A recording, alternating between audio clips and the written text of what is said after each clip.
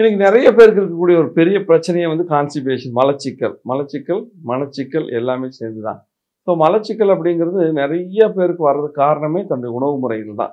First of all அந்த உணவு முறைகளில் சும்மா டெய்லி நம்ம வெறும் சோறை சாப்பிட்றோம் ஏற்ற காலையில் என்ன சாப்பிட்டீங்க? இட்லி தோசை. மத்தியானம் என்ன சாப்பிட்டீங்க? சாப்பாடு. நைட் என்ன சாப்பிட்டீங்க? இட்லி தோசை. ஸோ இதுவே ரிப்பீட்டடாக சாப்பிடும் பொழுது நம்மளுக்கு தேவையான புரோட்டீன் சத்துக்களோ நார் சத்துக்களோ நீர் சத்துக்களோ கிடைக்கிறதுக்கான வாய்ப்புகளை மிக இழந்துடுறோம். ஸோ இது முக்கியமான விஷயம்.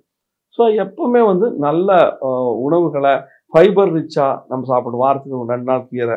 நீங்கள் கரிஞ்சுக்குட்டி கீரைன்னு சொல்லுவாங்க மணத்தக்காளி கீரை. அதெல்லாம் சாப்பிட்டீங்கன்னா அடுத்த நாள் அவ்வளோ கிளியராக மோஷன் போகும். அதே மாதிரி நேந்திரம் பழம் ரொம்ப அருமையான விஷயம். மலைவாழ பழம் இந்த நம்ம விருப்பாச்சின்னு சொல்லக்கூடிய பழம். அதெல்லாம் ரொம்ப ரொம்ப ரொம்ப பச்சை நாடன் பழம். இதெல்லாம் ரொம்ப எக்ஸலண்ட்டாக நம்மளுடைய மோஷன் வயிறெல்லாம் க்ளீன் பண்ணக்கூடியது.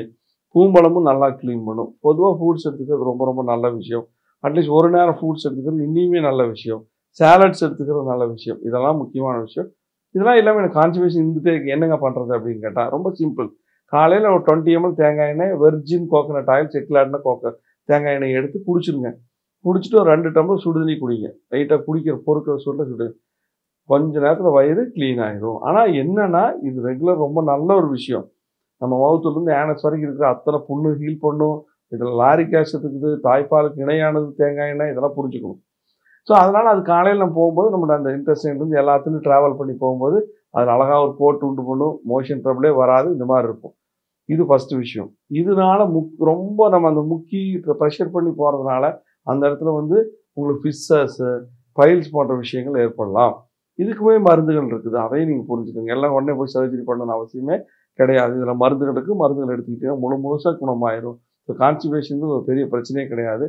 இதுக்கெல்லாம் மேலே இன்னொரு டிப்ஸும் நான் உங்களுக்கு சொல்கிறது என்னென்னா இந்த நம்ம டெய்லியுமே வந்து இந்த இரவில் கடுக்காய் அப்படின்னு சொல்லுவாங்க. சரி கா கடுக்காய் பொடி ஒரு ஃபைவ் கிராம் இல்லை ஃபோர் கிராம் வந்து தண்ணியில் கறந்து நம்ம நைட் குடிச்சிட்டு படுத்திருந்தாலும் வயிறு நல்லா சுத்தமாக க்ளீன் ஆகிடும் ஸோ மலச்சிக்கல்ங்கிறது ரொம்ப ரொம்ப ஈஸியான விஷயம். உங்களுக்கே நான் எல்லா டிப்ஸும் சொல்லிட்டேன். இதுக்கு மேலே மலச்சிக்கல் இருந்ததுன்னா அது கண்டிப்பாக உங்கள் உடம்புல வேறு ஏதாவது ஒரு பிரச்சனை இருக்கும்.